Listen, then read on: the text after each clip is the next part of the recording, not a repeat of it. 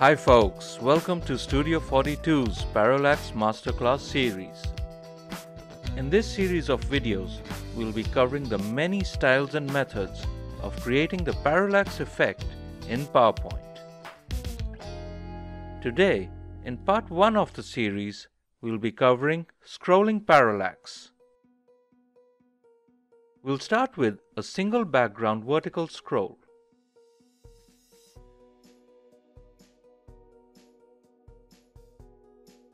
Then we'll see a single background horizontal scroll.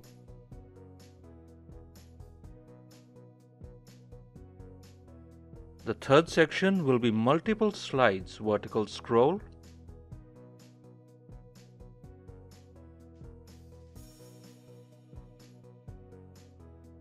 And finally, we'll look at multiple slides with a horizontal scroll.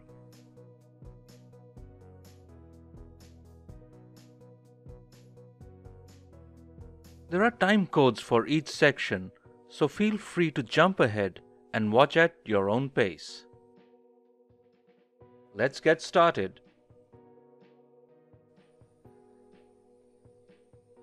Let's begin with the simplest of all the scrolling parallaxes, which is a single background vertical scroll. The first thing we should do is prepare our workspace by enabling the guides. By default you'll see two guides which you can drag to the corners of your workspace. And then right click, add a vertical guide, right click again and add a horizontal guide. These guides will help us keep track of what's inside our workspace and all the content that will be outside the workspace because in Parallax a lot of our content flows out from the visible area. So having added these guides, let's insert a picture. Now for a single background vertical scroll, it's important that our picture be larger vertically than the size of our slide so that there's space for it to maneuver. Having added the picture and adjusting its dimensions, we just match it to the top of the slide. And then our next step is to add a little bit of content.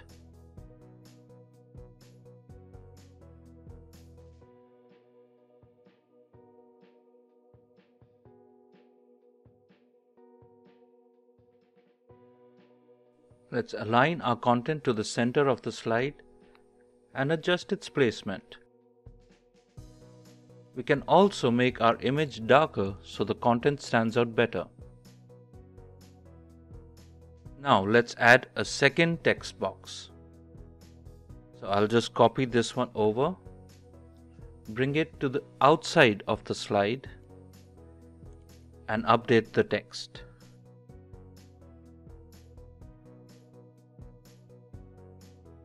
Let's make sure this is also center aligned. Now we need to mark the position of our main text, so let's add another grid line.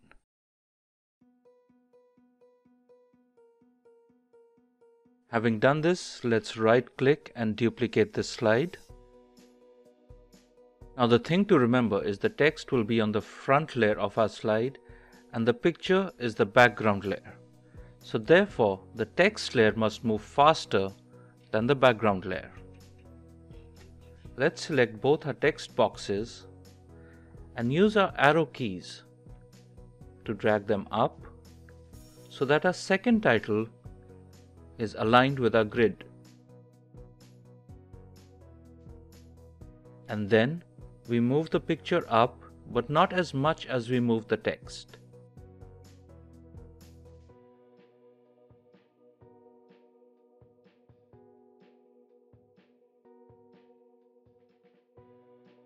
And now I'll add a third content box again outside the borders of the slide and rename this as third title.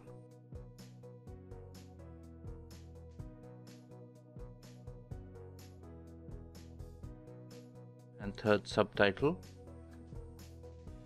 We once again duplicate this slide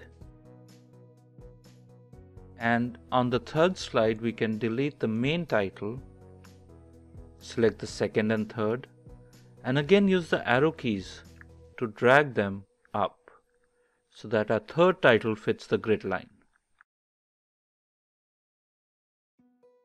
And finally, let's drag this image a little above as well.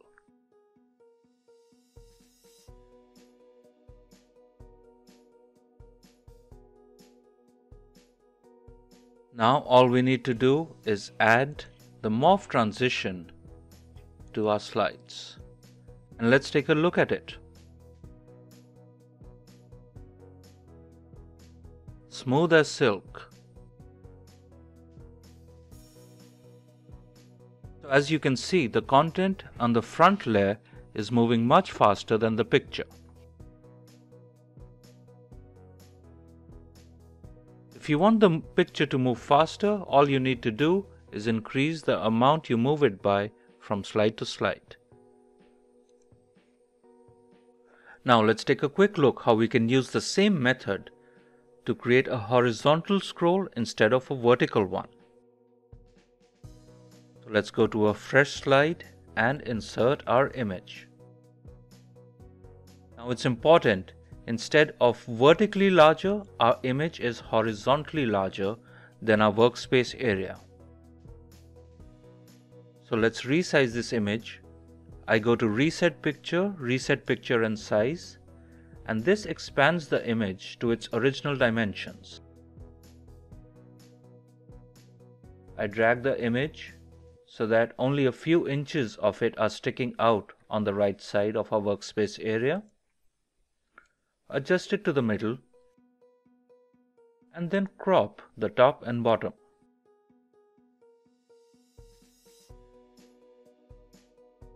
Now let's bring in some content. So I'll just copy it from the previous slides. Our main title and our secondary title. I drag the second title off to the right side outside the workspace area. Let's drag it a little further so when it travels, it travels faster than the image. We can also make the image slightly darker. Having done that, let's go ahead and duplicate this slide. And then select our main title, use your arrow keys to drag it off to the left, and select your second title group and align it to the center. Then let's click on our picture and also use the arrow keys to drag it a little bit to the left. Now all we need to do is add our morph transition and we're ready to go. So let's take a quick look. That's beautiful.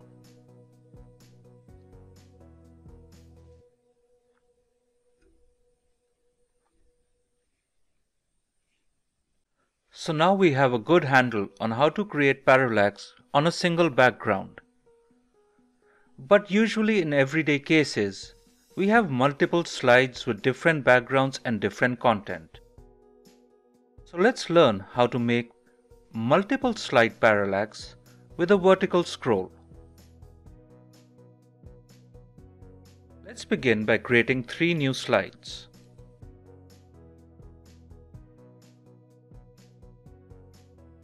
Let's prepare these slides like we would with any regular presentation by adding some images and content.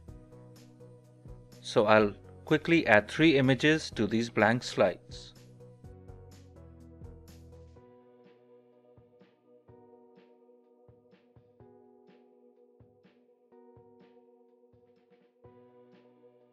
Having inserted the images, I will now quickly crop them to the right dimension of our workspace area by going to crop aspect ratio crop to 16 by 9.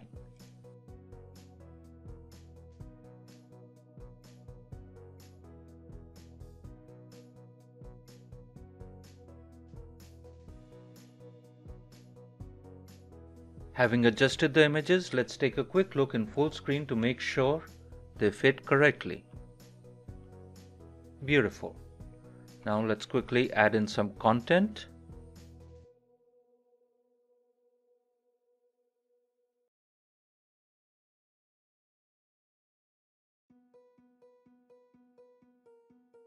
So now we have our three test slides ready.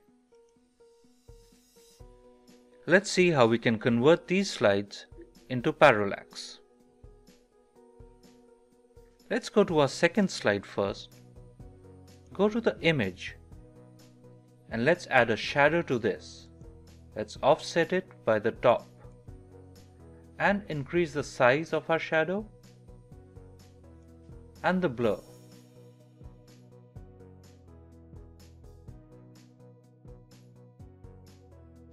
This gives our image a nice depth effect which will be useful later. Let's click on this image again, go to Format Painter and go to image number 3 and click on it. So the same shadow is painted onto this image as well.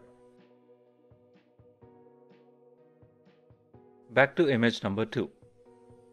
Let's select all our content from this slide, copy it and paste it onto slide number 1. Then, using your arrow keys, drag it down to outside our workspace area. Right click on it and make sure it's on the front so the shadow is visible. Then drag your text even further down so that when we create the parallax effect it travels faster than the image. Having done that, let's select all the content from slide number 1, copy it and paste it onto slide number 2. Let's use the arrow keys to drag it right outside the border of our workspace. Select everything, make sure it's sent to back. Select the image and drag it down to the halfway mark, but leave the content where it is. Again, this will ensure the image travels at a slower distance as compared to the content. Let's go over to slide number 3. Let's select all the content. Bring it to slide number 2 and use your arrow keys to drag it down.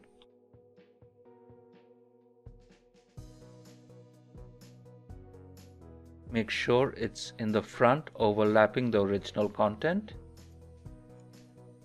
Drag your text further down. And then select all your second slide content. Copy it onto slide number 3 drag it to the top, send it to back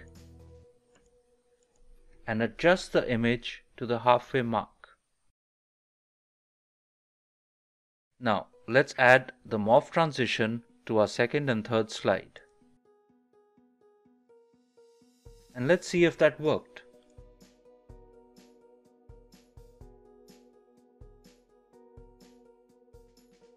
Beautiful. As you can see, the image is traveling slower than the content. And the shadow gives it a nice beautiful overlapping effect.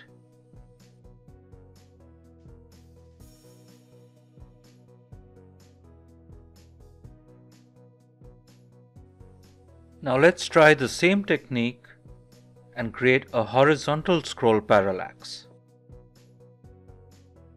So as before, create three brand new slides and insert your imagery.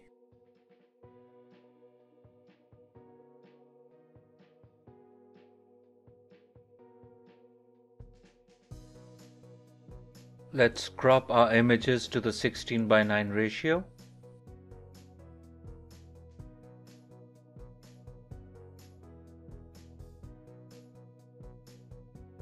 and let's add our content.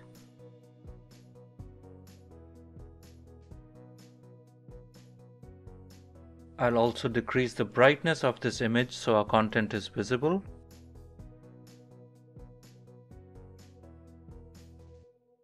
The same with the third image. So now we have our three images ready. So this time instead of giving it a top shadow, we are going to give it a left shadow. So let's add the shadow by going to format picture, shadow, offset left. Increase the size and the blur.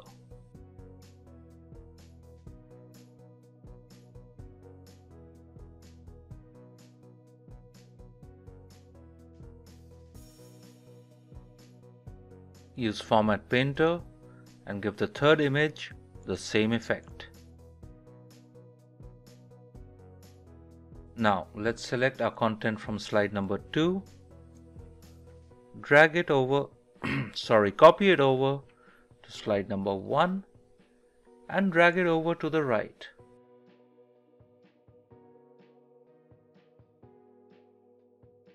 Select the content and drag it even further to the right. Then let's select all our content from slide number 1 and copy it over to slide number 2, this time dragging it to the left. Let's right click and make sure it's sent to back so we can see the overlapping shadow.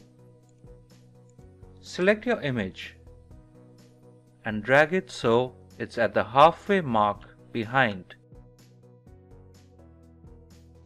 There we go. Let's go to our third slide. Again, select everything and copy it over to slide number 2 and drag it to the right. Make sure it's in the front and the content is dragged over even more to the right. Then let's select the content from slide 2, copy it over to slide 3 drag it over to the left. Make sure it's sent to back and the image is dragged to the halfway mark.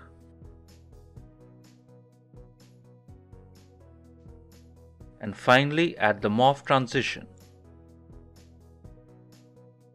Let's check it out.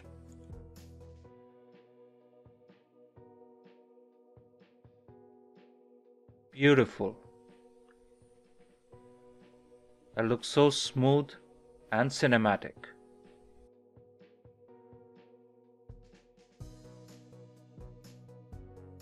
So these were the basic techniques for creating scrolling parallax. And in the next part, we'll turn up the difficulty by a notch by learning how to make these amazing wipe parallax transitions. If you find this content helpful, hit the like and subscribe buttons to help out the channel. Thank you for watching and see you next time.